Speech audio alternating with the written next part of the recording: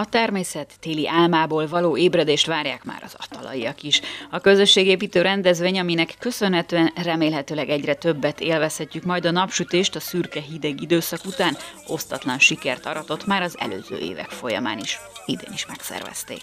Atalában a tavalyi év folyamán rendeztük meg először ezt a télőző kis programunkat. Azt hiszem, hogy akkor is nagyon-nagyon jó sikerült, nagyon sokan részt vettek. Persze természetesen nagy részben gyermekek jöttek. Most pedig más helyszínre tettük a magát a kiszabáb égetést, most a kultúr előtt fogjuk elégetni a kiszabábot, előtte egy kis felvonulással, kis zajkeltő eszközökkel, és most kiegészítettük a programot azzal, hogy táncházat szeretnénk majd utána a kultúrban végezni. Azt gondolom, hogy az is, annak is nagyon nagy sikere lesz, hiszen a helyi óvodások és az iskolások is régóta tanulnak már népi táncot, és most itt alkalmuk lesz megmutatni, hogy mit tudnak.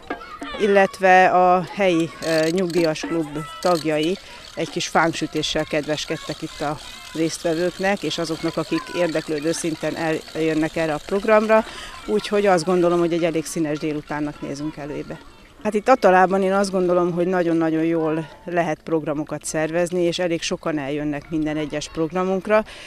Én azt gondolom, hogy igénylik az emberek azt, hogy egy kis közösségépítés folyamatosan legyen a településen. Én úgy gondolom, hogy minden hónapban megpróbálunk valamilyen programot szervezni, minél nagyobb korcsoport korcsoportoknak, tehát gyerekeknek is, fiataloknak is, és hát az idősebb generációnak is szeretnénk majd kedvezni. Úgyhogy az idei programtervünket is úgy állítottuk össze, Programokból tehát nem lesz hiány idén sem Atalában, a télűző forgatag is színesre sikeredett. A fiatalok közül többen öltöttek állarcot, de a busó jelmez sem maradt otthon, hogy miről szólt a napsütéses, ám de hűvös délután. A kiszabál égetésről. És el, mi... el kell űzni a telet. És hogy fogjátok elűzni Úgy, hogy uh, hangokkal, hangszerekkel el fogjuk űzni. Hát úgy fogjuk elűzni a telet, hogy kolompulunk, meg kereplő, meg a, a kidobol az, az is elűzi. Ezt azért, hogy a, a törökök Mohácsra mentek, és el csináltak kifordított bundát, meg ilyen maszkokat faragtak, és törökök elijedtek és elmentek. Meg éjszakát keltek a Dunán. A babona szerint a kiszebáb égetése megszabadítja az embereket minden bajtól. A téltemető népszokás igen kedvelt volt a falusi népek körében, a talán nagy elszántsággal élesztik újra ezt a hagyományt. A lényege, hogy a gyermekek kiszebabát és zajkeltő szerszámokat készítenek, vagy olyan eszközöket hoznak magukkal, amelyel zajossá tehetik a felvonulást. Az óvodától a templom megkerülése után a művelődési ház elé érkeztek, ahol a mágia meggyújtása előtt különböző rigmusok éneklésével igyekeztek messze űzni a telet. Haj, kikisze, haj, jöjj be sodár gömböce, haj, kikisze, haj, jöjj be sodár gömböce, seres maris otthon ül, aki szére fentőző, ha megszövi, feladja, aki szére ráadja.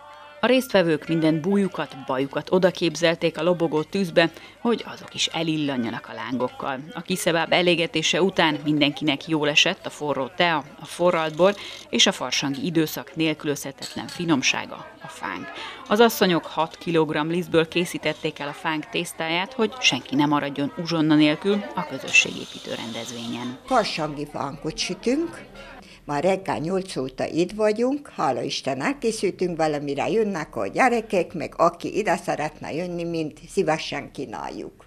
Teja, főzzük forralt bort. Ez nem egyszerű dolog a fánknak a készítése, már ugye meg kell kalasztani, megvan a hozzávaló adag, hogy mihez liszthez liszt, meg cukor, minden mennyi kell belőle, és akkor ugye meg ki jól ki kell dagasztani, hogy sima legyen, ne legyen benne az a göbörceg, vagy hogyan mondjam, akkor utána meg ugye kell kalasztani, akkor kiborítjuk, és akkor nem szabad sodorni, hanem csak kicsit szétnyomkodni, és utána úgy lehet kiszaggatni, aztán mikor akarjuk sütni, forró olajba, mindig a tatájét tesszük alulra, akkor lesz szép szallagos.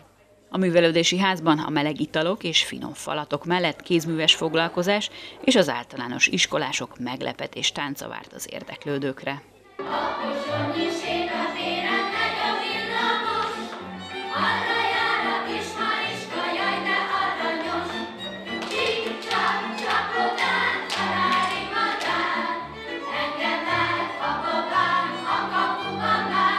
régiónként változó szokásokkal megfűszerezett télűző esemény rituális módjának megvan a közösségépítő ereje.